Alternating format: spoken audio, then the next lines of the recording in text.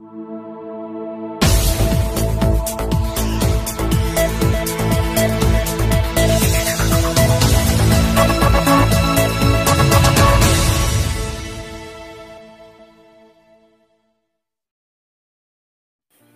दोस्तों, आप सबको नीतू सैनी का सलाम, नमस्कार। दोस्तों, आकर्षण। आकर्षण किसी से भी हो सकता है है ना? आकर्षण में और प्यार में बहुत फ़र्क होता है दोस्तों।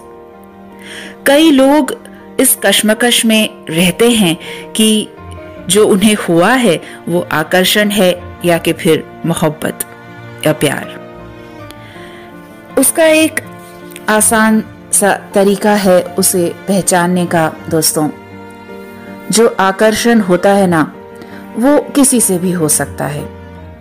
और उसके किसी एक कैरेक्टरिस्टिक से भी हो सकता है।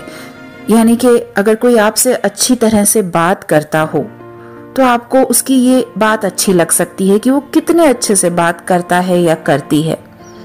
या फिर कोई बहुत अच्छा दिखता हो या दिखती हो तो भी आकर्षण उसके प्रति हो सकता है। कई बार लोग जिस तरह से ख्याल रखते हैं आपका या अच्छी बातें करते हैं, अच्छे शब्दों का इस्तेमाल करते हैं या आपकी तारीफ़ करते हैं, उनके प्रति भी आप आकर्षित हो सकते हैं। तो ये आकर्षण होता है दोस्तों। और ये किसी भी खूबसूरत चीज़ से हम आकर्षित होते हैं प्रकृति की तरफ़ भी दोस्तों। इतनी खूबसूरती है प्रकृति में, इतने सुंदर फूल जो हम देखते हैं, सूरज का उगना चाँद का दिखना, चांदनी का फैलना, मुस्कुराना, तारों का टिमटिमाना। ये सब दोस्तों बहुत ही खूबसूरती जो फैली हुई है प्रकृति में, हम इसके प्रति भी आकर्षित होते हैं। या फिर कोई बहुत प्यारा सा बच्चा हो, उसकी प्यारी सी, मासूम सी मुस्कान, उसके प्रति भी हम आकर्षित होते हैं। तो ये आकर्षण है दोस्तों। अब यही आकर्षण अगर आपके अपोजिट जेंडर के साथ होता है, यानी लड़के का, लड़की की तरफ़ या लड़की का लड़के की तरफ़ तो लोग इस कश्मकश में कई बार पड़ जाते हैं कि ये महज एक आकर्षण है, एक थोड़ी देर के लिए हम उसकी तरफ़ आकर्षित हुए हैं, या कि ये प्यार है, इसमें फंस जाते हैं। दोस्तों, बहुत फ़र्क है आकर्षण और प्यार में।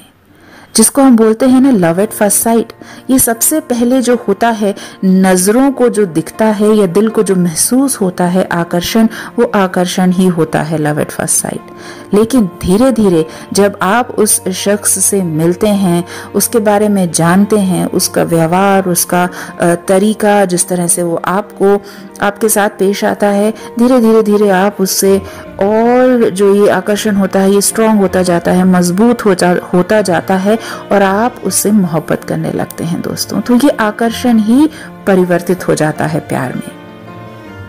और दूसरी बात दोस्तों, ये आकर्षण जो होता है, इसमें उतना दर्द नहीं होता, जितना कि प्यार में होता है।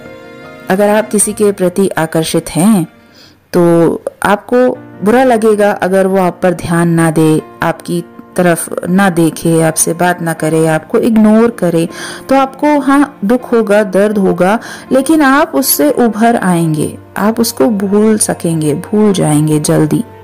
क्योंकि ये थोड़े टाइम के लिए होता है, थोड़े समय के लिए होता है। और जो प्यार होता है ना दोस्तों, वो बहुत गहरा होता है। वो गहरे तक जाके लगता है, आपकी रूह में समाता है। मैं सच्चे प्यार की बात कर रही हूँ। ये आकर्षण वाले कंफ्यूज्ड प्यार की बात नहीं कर रही हूँ। वो जो होता है सच्चा प्यार, वो आपकी रूह को तड़पाता है, रूह तक पहुँचता है।